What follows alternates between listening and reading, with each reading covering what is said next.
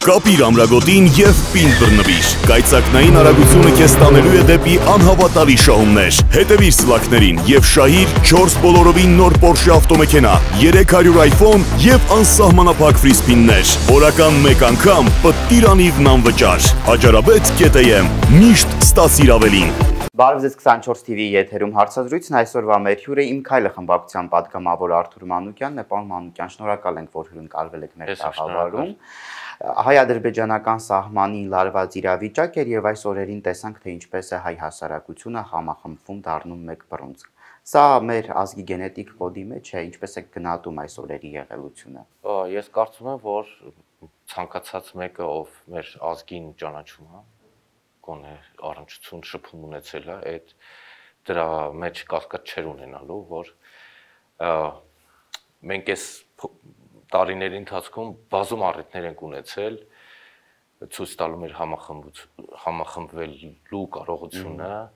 եւ ես շատ ուրախ եմ որ այդ կարողությունը ոչ ոչ մի բան չկարողացավ մեր մեջից հանել եւ մենք բոլորս հասկանում ենք որ իսկապես մեր ազգի փրկության կարևորագույն գործոններից մեկը այդ համախմբվելու կարողությունն է որը ի վերջո այս ընթացքում ցույց տվեց, որ այնպիսի խնդիրներ կարող է լուծել համախմբվելուց, որ անհավանական թվա բոլորին։ Այս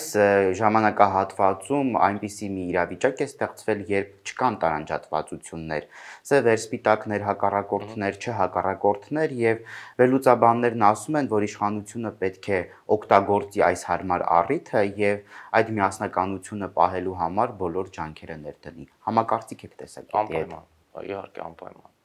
ինչ քայլերի պետք է գնալ կամ ինչ պետք է անել մի քիչ ավելի մանրամասն։ Այս խաղաղությունը, որ կա, մենք հիմնական ներքին ոչ խաղաղ վիճակը գալիս այդ Facebook-ի սոցիալական ցանցերից եւ այլ եւ այլ։ Այս խաղաղությունը, որ հիմա կա մեր հասարակության մեջ, պետքա զարգացնել եւ այս սրան պետքա ոնց որ մարդկանց մտքերը դեպի այս այս ուղությամբ տանել, հա, որովհետեւ խաղաղությունը ստեղծարար է։ Խաղաղությունը նոր կյանք է ստեղծում եւ նոր ուրախություններ, նոր երջանկության առիթներ է բացում մարդկանց համար եւ մենք պիտի զգանք այս պահը, զգանք եւ կարճենք այդ զգացողությունից եւ փորձենք զարգացնել եւ փորձենք առաջ գնալ այս ուղությամբ։ Ես շատ ուրախ եմ այս խաղաղուց ոնց սահմանի պատերազմը խաղաղություն բերեց մեր ներսում եւ դա շատ ցավալի է, բայց Ես ուրախ եմ, որ այս խաղաղությունը կա եւ ես շատ եմ կոչ եմ անում, որ այս խաղաղությունից կարճենք եւ զարգացնենք։ Կհաջողվի պահպանել այդ ներքին հանգստությունը։ Ես հույս ունեմ։ Հույս ունեմ, որ դեռ ավելին կհասնենք։ Եվ ինչ ունի անելու իշխանությունը, ինչ ունի անելու ընդդիմությունը այս առումով։ Նախ պետքա նկատել դա, նախ պետքա գնահատել դա, կարողանալ ներքուստ գնահատել այդ առավելությունը խաղաղության, ներքին խաղաղության առավելությունը եւ փորձել հասկանալ, որ դրանից այն կողմ կյանքը անտանելի է։ Ներսին կյանքը ուղղակի անտանելի է։ Ճիշտ, ամեն մի ճիշտի սխալի համար մարդկանց գնդակահարել խոսքով կամ, չգիտեմ, վերաբերմունքով։ Ես կարծում եմ դա չափազանց սխալ վերաբերմունք է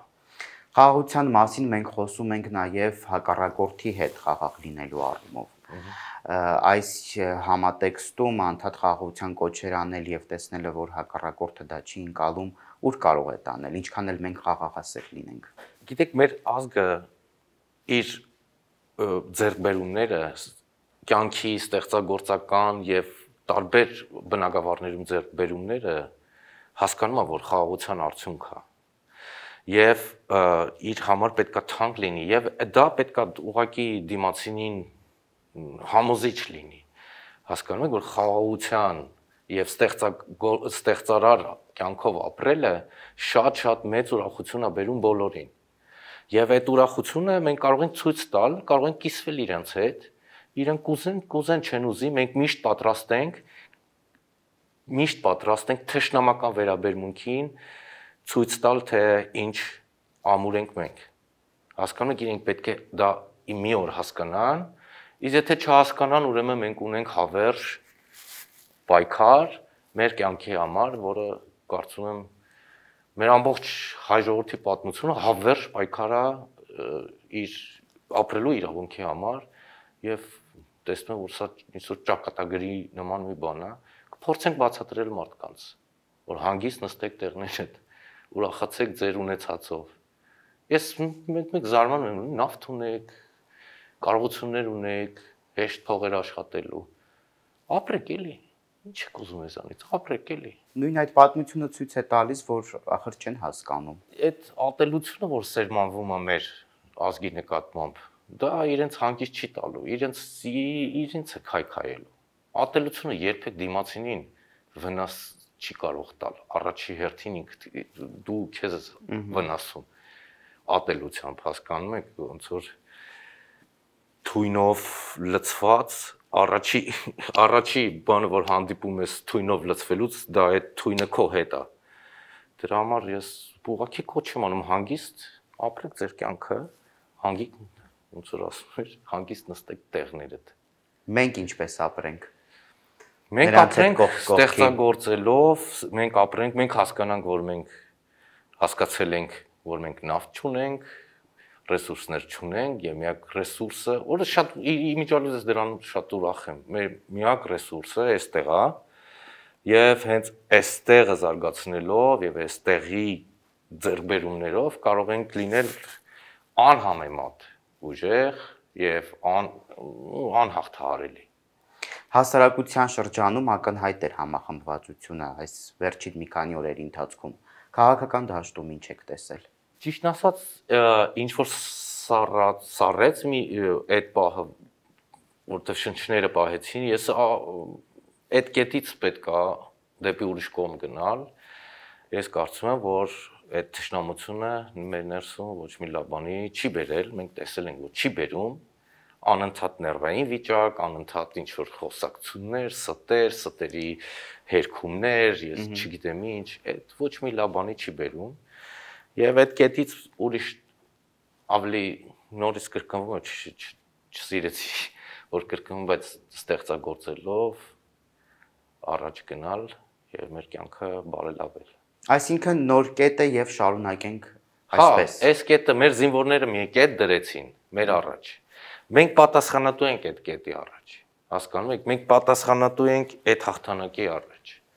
Մենք բոլորս շատ պատում ենք չպիտի կորցնենք այդ ձեռբերումը։ Այդ շատ կարևոր գանձ է, որը մենք իրավունք չունենք սենց գետնին տալու հասկանում եք, որովհետև սա իսկապես ձեռբերում է եւ ես շատ ուրախ եմ, որ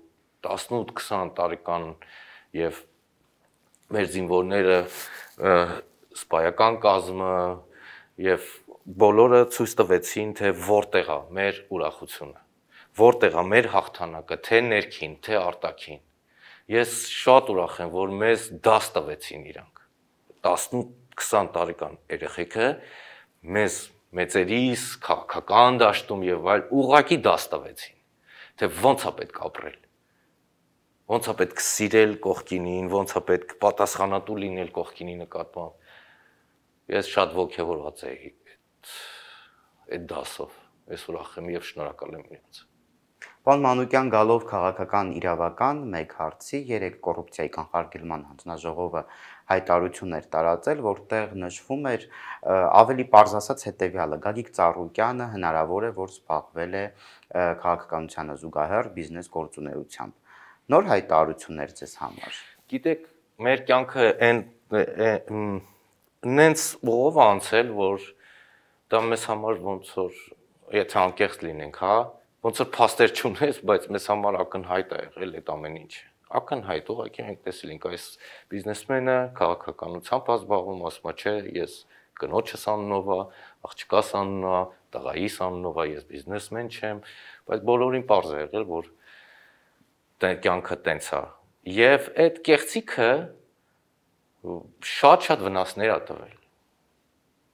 մեր հասարակության մեջ եւ մեր հոգեբանության մեջ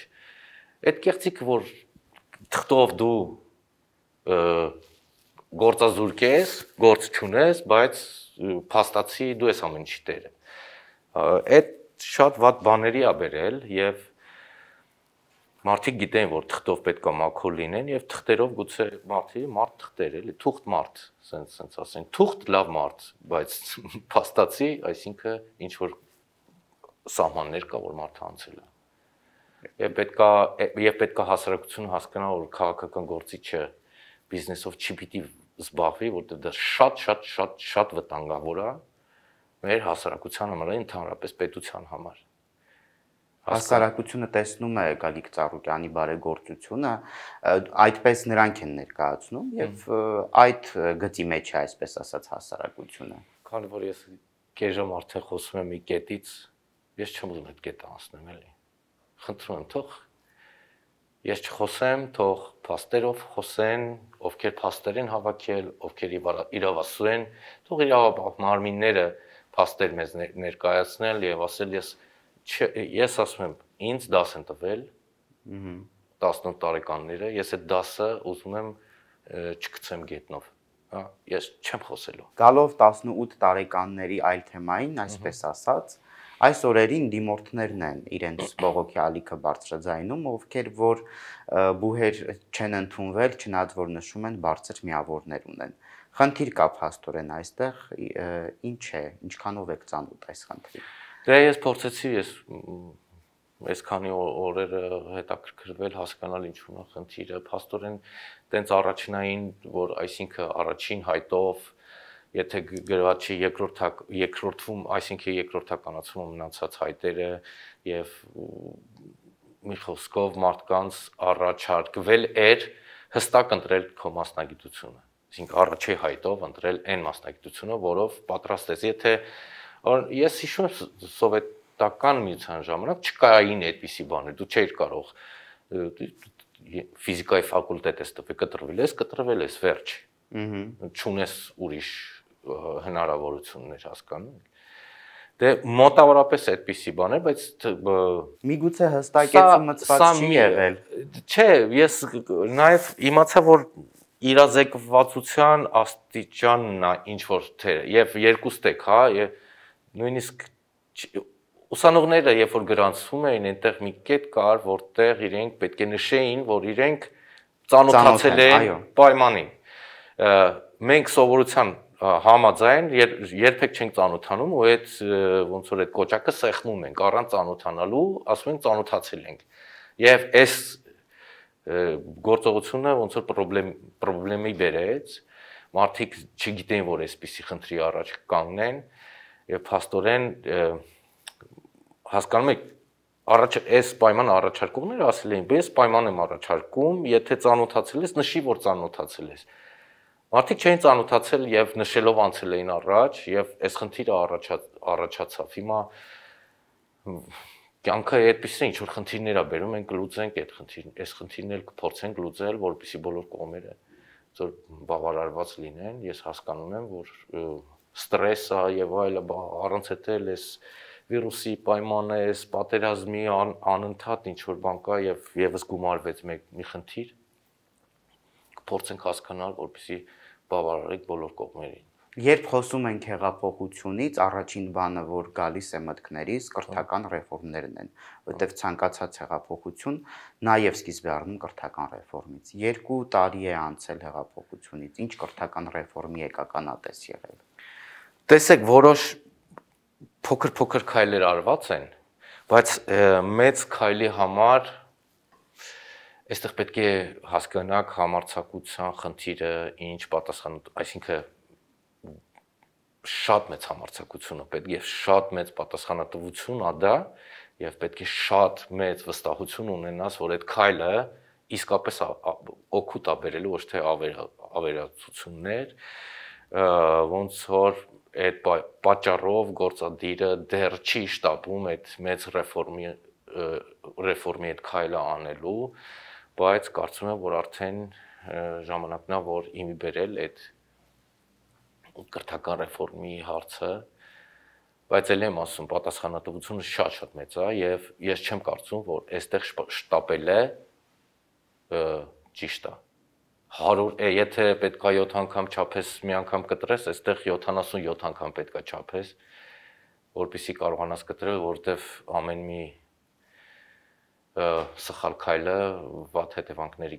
կարող է բերել անդառնալի։ Դուխովը որպես լոզունգ օգտագործած իշխանություն է, ինչու պետք է ռիսկայնությունից վախենա։ Ես, չէ, այս այս առումով պետք է իհարկե դուխով, բայց չի նշանակում այդքան էլ պետք չի։ Այս առումով պետք չի դուխով լինել։ Պետք է խելացի լինել եւ 100 անգամ չափած ձևած լինել։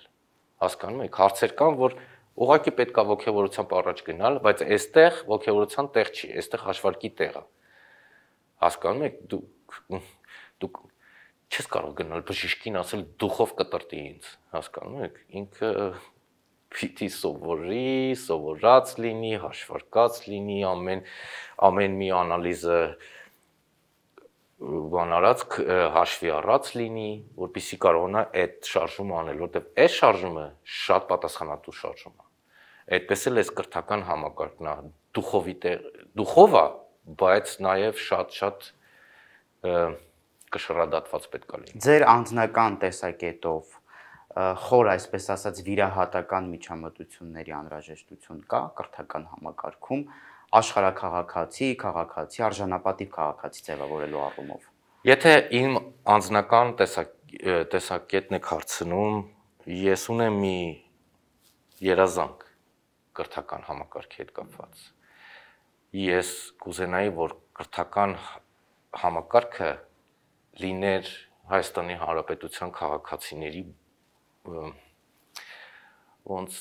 հիմա մոտավորապես բացատրեմ միտքս հասկանաք։ Օրինակ Նորվեգիայում կա նավթ եւ ամեն մի քաղաքացի ունի այդ նավթի բաժնետոմս։ Ահա Ես կուզենայի, որ մեր կրթական համակարգը այնպիսի մի արժեքավոր բան լիներ, եւ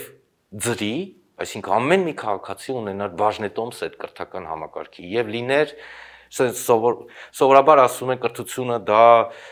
պետք է ներդրում անես, որպեսզի դա ես ուրիշ կերպ եմ նայում։ Ես համ, համարում եմ, որ այն ինչ որ կստեղծվի կրթական բազա, հա, ամեն մի քաղաքացի, Հայաստանի քաղաքացի ունենա այդ արտոնությունը ծրի պատկանի այդ կրթական համակարգին օգտվի այդ կրթական համակարգի ծրի եւ դա չգիտեմ ոնց պետք է անել տնտեսագետները շատ կարծում եմ դա դա դժվար շատ դժվար բան չի ի վերջո հարկեր կան մի մի տոկոս այն մարդով որ ծրի կրթություն է ստացել հետո ինքը պատրաստ է չէ այդ ինչ որ ձևով վերադարձնել դա Այսինքն այստեղ կարող ենք անել։ Դա իմ երազանքն է, ես չգիտեմ մենք կհասնենք դրան թե չէ, բայց կփորձեմ ես ամեն ինչ իմ ընկերներին, իմ համախոհներին կիսվել իմ երազանքով եւ փորձել հասնել դրան։ Կարծես երկխոսության պակաս կա օրենսդիրի եւ գործադիրի կրթության համապատասխան գերատեսչությունների միջև, ինչն էլ բերում է այդ ռեֆորմների ուշացմանը։ Դե գուցե եւ կա Համաձայն եմ, կա երկխոսության ինչ որ պակաս, թերացումներ դա էլ կլուծենք։ Հիշեցնեմ, որ 24 TV-ի եթերում այսօր հյուրընկալել էինք իմ քայլը խմբակցության падգամավոր Արթուր Մանուկյանին։ Շնորհակալություն մեզ հետևելու համար, կհանդիպենք։ Thank you